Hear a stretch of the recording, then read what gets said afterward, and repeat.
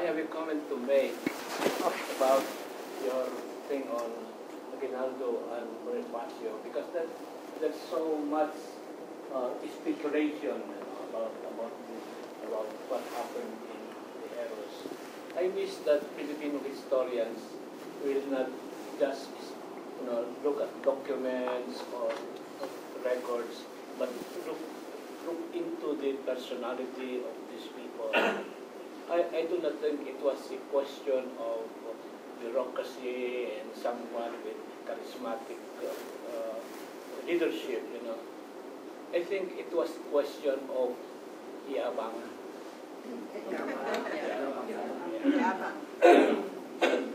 Uh, both men were mayabang, you know. And it's, it's really what broke up the revolution of 1896. It's what broke up the Hukbalahap uprising. It's what uh, broke up the NPA thing. You know, the, yabang of these leaders, the ego, ego. Yeah. I hope uh, historians would, uh, like Nick Joaquin, look more at the personalities of uh, these, these characters. Read, read my piece and give it a chance. Mm. Just you just give it a chance. See if it. See, uh, I, I'm not discounting what you're saying. Frank, here. for those of you who don't know, uh, around the 1980s, I asked the four surviving leaders of the Hukbalahap uprising, you know, Luis Taruk, who is Kapampangan, Fred Saulo, who is Tagalog, Casto Alejandrino, who is Kapampangan, and Dr. Lava, who is, you know, who is uh, Tagalog. Because I thought that the reason the Huk movement really was, I don't think it was really uh, broken by Magsaysay No. with assistance from the uh, Americans, you know. Although he helped. So we had the seminar in the bookshop. Both of these, all of these men were in prison for 10 years.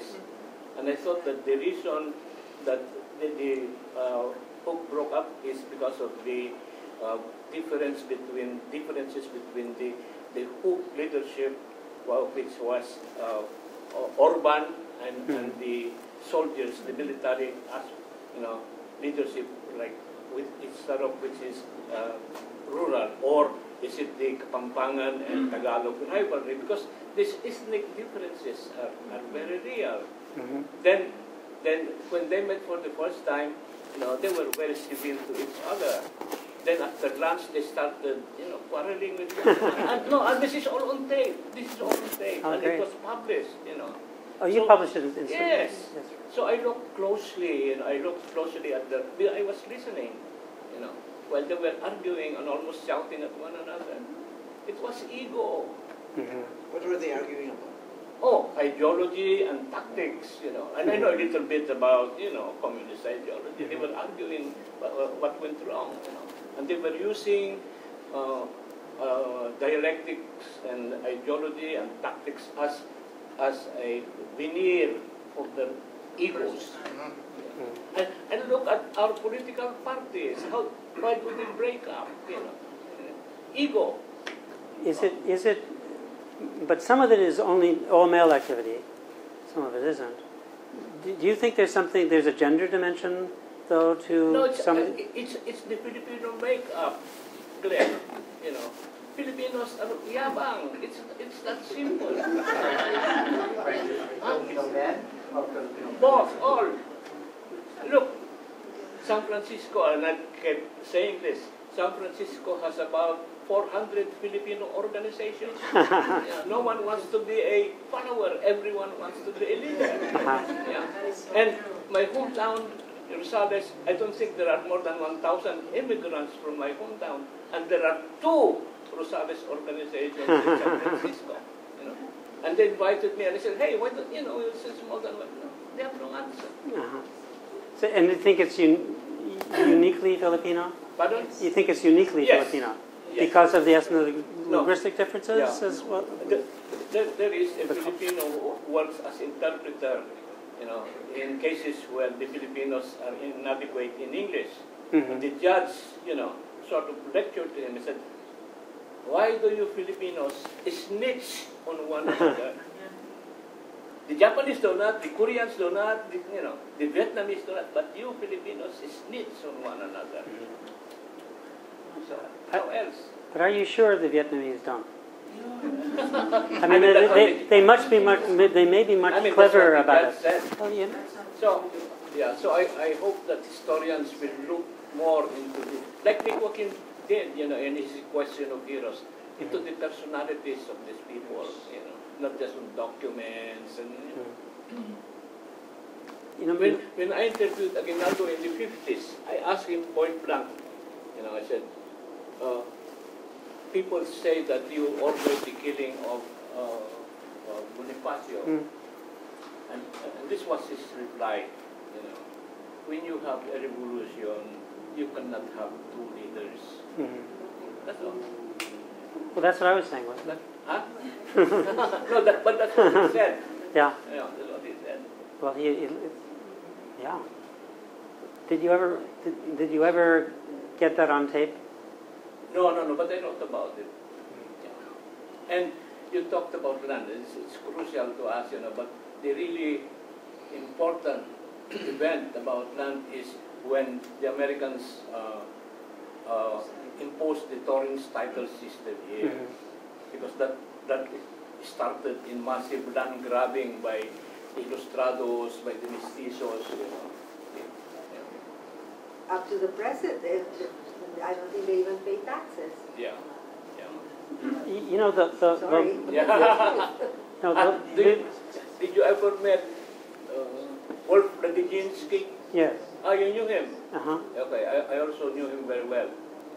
Wolf Ladejinsky, for those who don't know, is- he did land reform in the Philippines, uh, Taiwan. Japan. Japan, Yeah, he was the architect. He was, uh, yeah, he was, you know, in effect, part of the counterinsurgency teams that was set. He was, the, but he was a land reform specialist. This is, uh, yeah, this is gossip, but he was the boyfriend of Mita Pardo de Tavera.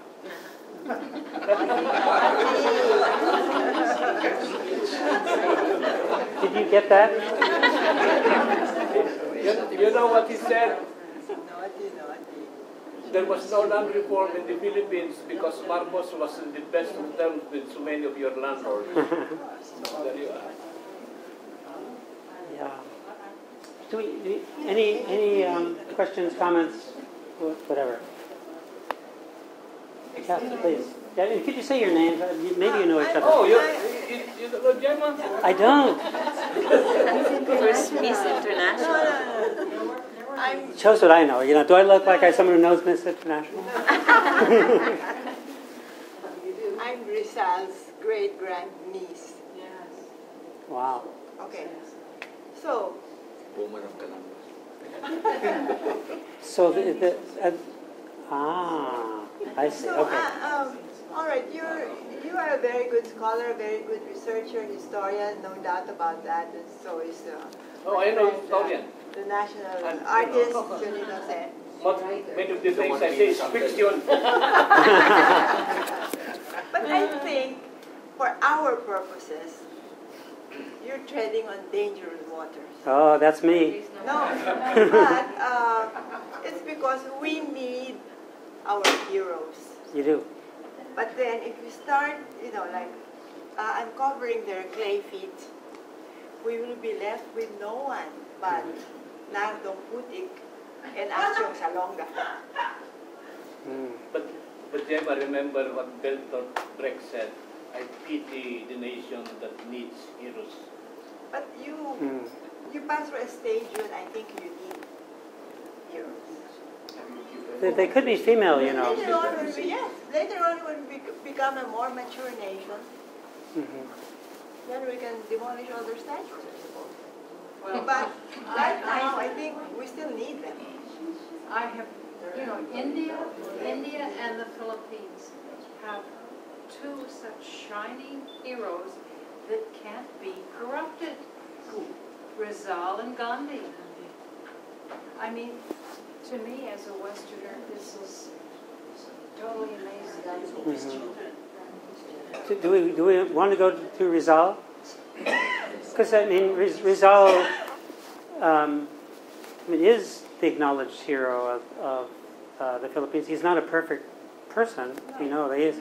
Yes, that, I don't know that I would agree that one needs heroes, um, in the sense that they haven't done much work on Sumuroy and the Kokoy. And I I think personally, these were very brave men. I don't know about, I mean, I know enough about Bonifacio and about Rizal, and they're fine, I mean, but um, I think all of them had feet of clay, no doubt.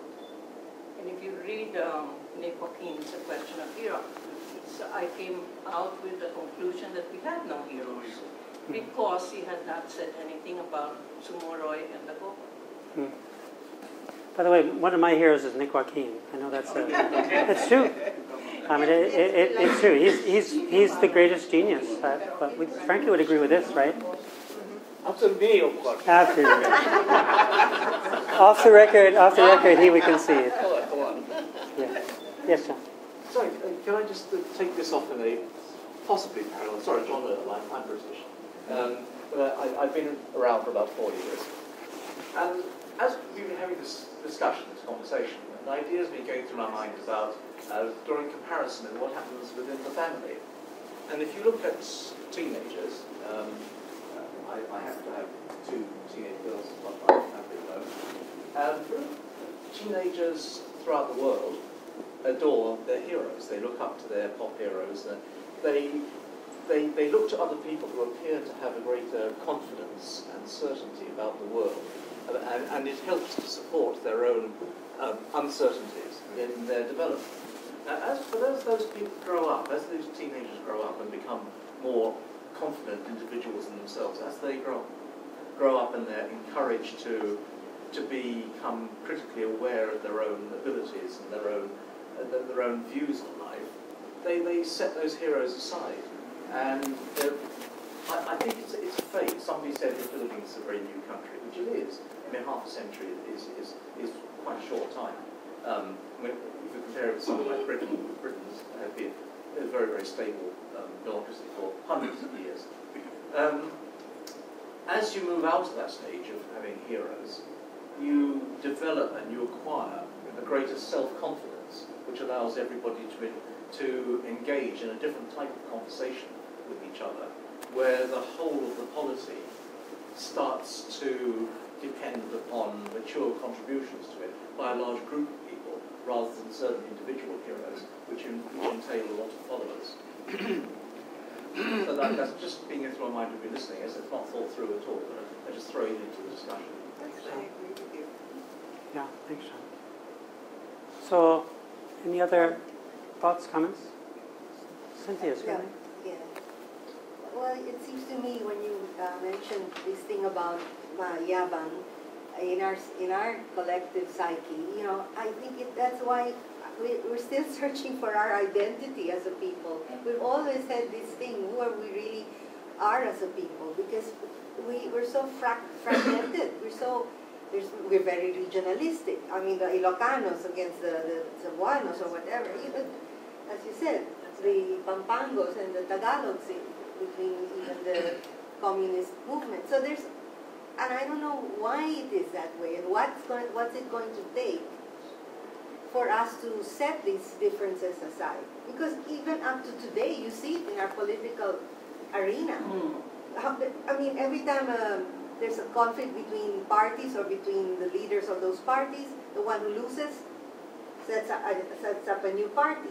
I mean, you know, I don't know what it is because we're not politically immature still, or I don't know, but it all in all walks of life it's happening. So I don't know what's it gonna take. I remember going, uh, uh, um, uh, following up your point, I, I was at a conference in Washington, D.C., maybe it was 2005 or so, included mostly uh, political scientists. I was a token historian. And it was all about, it, um, well, forget what the conference was supposed to be about. It was, it turned out to be what's wrong with the Philippines.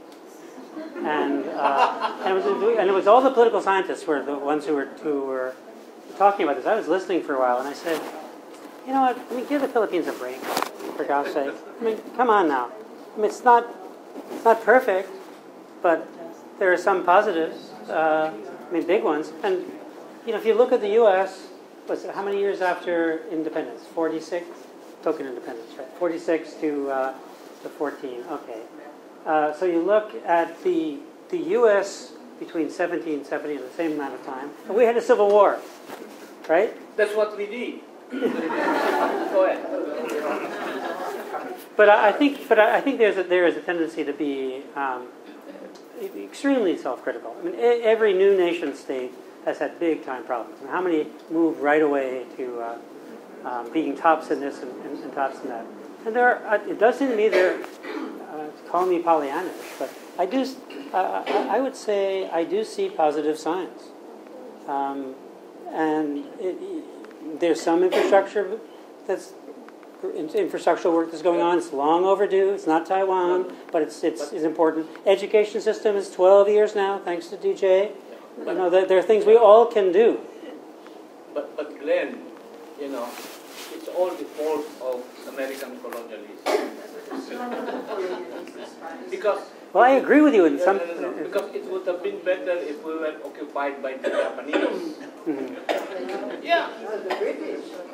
No, no, no. That- that's They're giving us back. Because the British. You mean, but they, we were occupied by the Japanese, Frankie. Yeah, but only for Time. Look, look. You, you mean for 70 years? Yeah, there are, there are no ifs in history. Well, Yeah, but there's Korea and there's Taiwan. These are two different places. The Yeah, Japanese but- are in both but places. wait, if the Japanese occupied us, we would have been so bitterly opposed to them. See, but they would have abolished the oligarchy, okay? And we will not have a love-hate relationship the way we have with you. Well- with the Japanese, it would be complete hate. Well, there would be, but, but, but no, but Look, we look. I, I watched I watched Korea I watched Korea grow. I was there shortly after the ones who killed. after the war. Huh? Yeah. And you know what all the Koreans were telling me? We'll beat Japan, we'll beat Japan. Mhm. That was, that was their major rallying cry. the Taiwanese didn't say the same thing. There's some, there's, No, there's because the Taiwanese were treated well by the by the by the what they call By the? Japanese. Japanese, yeah. the Japanese. My father-in-law, who's in Taiwan today, 82 Oh. years just traveled, um, a short story, okay.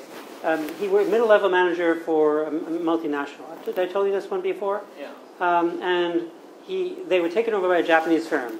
The managers went to meet the, the, the, the Japanese uh, leaders. They went down the line, the line and, and uh, the big boss came down the line, shook hands with all of them, looked at my father-in-law's face, and tears fell down his, his face, and he embraced him. He grew. He was. They grew up. They went to the same school. They went to the, the same school. So my father-in-law got a big promotion. You know, the Japanese know how to do that. Yeah.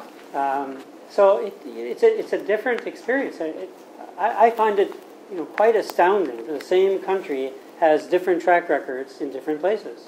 Go figure. Frankie, I, I enjoy reading counterfactual history, Mm. but mainly as entertainment. So yes, um,